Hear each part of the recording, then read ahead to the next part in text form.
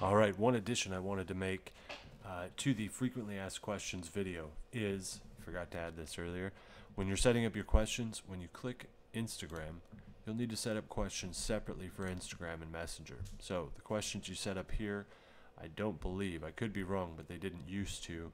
Uh, they do not transfer over to Instagram. So you'll need to set up the same questions or uh, new questions for each platform. I could be wrong there. They may carry over, so you'll want to test it. But from my experience, I haven't tested it in a while. Um, I just wanted to add that in that you may want to add the questions again here under the Instagram section. Click save, and that way they fire on both Instagram and Messenger.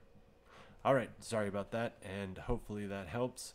If you have any questions or want to check out any other videos, how2ecommerce.com. Thanks and have a great day.